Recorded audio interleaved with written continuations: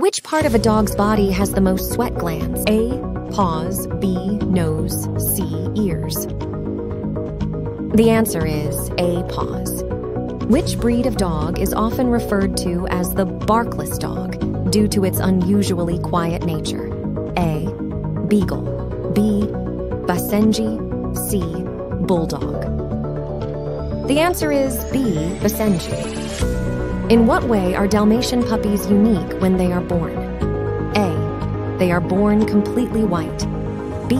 They have their spots from birth. C.